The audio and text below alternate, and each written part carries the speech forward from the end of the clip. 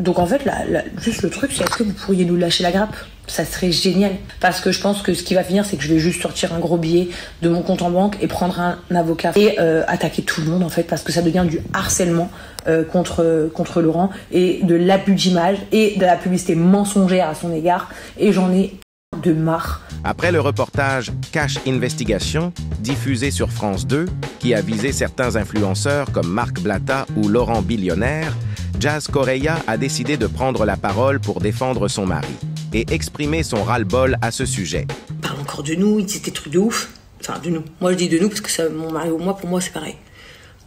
Qu'est-ce que c'est que ce truc? Genre, ils nous ont. Je vous dis la vérité, des fois, on a, on a stressé. On s'est dit, mais je comprends pas, qu'est-ce qui se passe et tout. Et on s'approche d'auprès de notre avocat, qui vérifie auprès de la loi.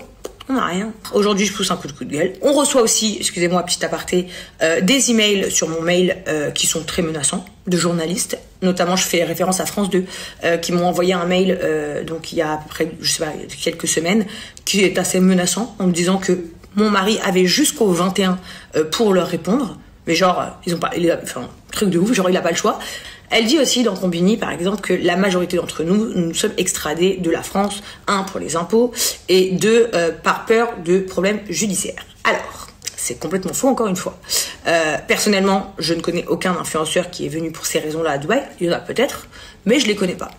Par contre, ce que je sais, c'est qu'il y en a beaucoup qui se sont dit, écoute, on est médiatisé, notre travail n'est pas reconnu en France, on ne considère pas comme des gens, euh, euh, disons, euh, célèbres. Donc du coup, bah, la police ou le, enfin, la gendarmerie du coin de chez nous ne nous protège pas plus qu'un autre voisin parce qu'on est plus amené à être des cibles d'un d'un braquage, d'une agression, etc. Parce que oui, on est on est connu.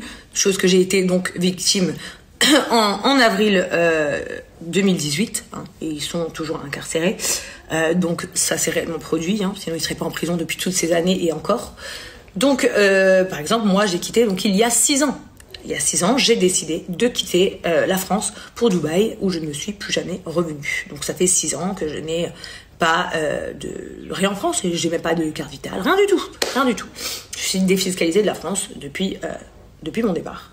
Donc soit il y a six ans. Donc ça n'a rien à voir. En revanche, oui, vous oubliez de dire que beaucoup d'entre nous sont partis pour la sécurité. Et bien évidemment, et publiquement, je vous le dis, ce serait mentir ou ce serait complètement on joint l'utile à l'agréable. Un, on va là-bas, on est en sécurité. Deux, on a une train de vie euh, tranquille où personne nous emmerde parce que personne nous connaît. Et puis en plus de ça, on paye pas d'impôts. Pourquoi Pourquoi ça serait un crime de penser comme cela? Euh, donc en fait, là, juste le truc, c'est est-ce que vous pourriez nous lâcher la grappe? Ça serait génial.